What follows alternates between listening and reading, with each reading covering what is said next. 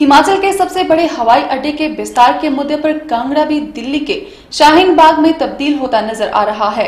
यहाँ क्या औरतें, क्या बच्चे? युवा नौजवान और क्या बुज़ुर्ग सब विस्थापन के डर से कांगड़ा एयरपोर्ट की खिलाफत में एकजुट हो चुके हैं। बकायदा इसके लिए घंटों सड़कें जाम की जा रही हैं। हिमाचल के सबसे बड़े हवाई अड्डे के विस्तार के मुद्दे पर कांगड़ा भी दिल्ली के शाहीन बाग में तब्दील होता नज़र आ रहा है। यहाँ क्या औरतें, क्या बच्चे?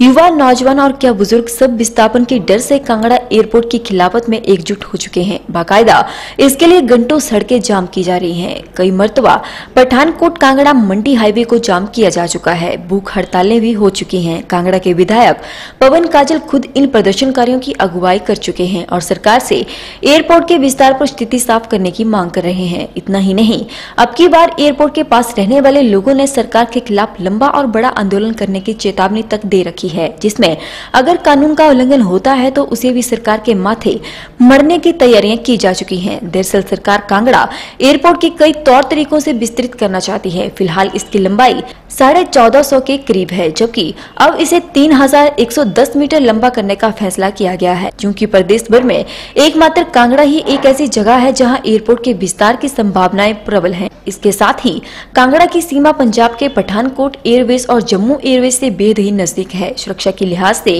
केंद्र का सुरक्षा मंत्रालय भी इस एयरपोर्ट को हर नज़र से अपने लिए सुरक्षित मानता है और इसका विस्तार करवाना चाहता है। इन लोगों की माने तो पोंग डैम के दौरान भी उनका विस्थापन हुआ। फिर एयरपोर्ट के निर्माण के दौरान फिर दूसरी बार विस्थापित हुए। अब तीसरी बार उन्हें यहाँ से निकालने की योजना बरकरार है, जो अब वो अपने विस्थापन की सही जगह सुनिश्चित न हो जाने पर बिल्कुल मंजूर नहीं करेंगे। बाकायदा मुख्यमंत्री जयराम ठाकुर से मिलकर उन्होंने इस बाबत अपनी मंशा भी ज़ाहिर कर दी है। फ़िलहाल इस मुद्दे पर अब कांगड़ा की दोनों पार्टियों की लीडरशिप जहाँ लोगों को समर्थन करके अपने वोट बैंक मज़बूत कर रही है, वही इस एयरपोर्ट के विस्तार का लाभ समझने वाले नेता इसे हर संभव प्रयास कर बनाना चाहते हैं।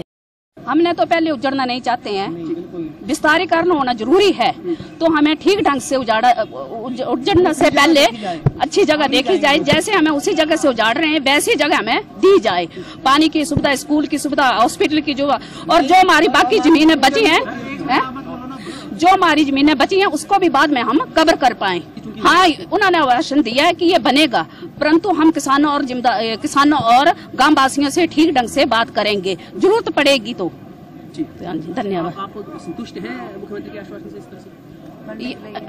बनने के लिए नहीं है पर जो बोला है वो तो ठीक ही है, है देश हित के बनना है तो ज़रूरी है। सर हमारी मेन डिमांड ये है कि एयरपोर्ट जो विस्तार कर रहे हैं इसको रोका जाए। अच्छा।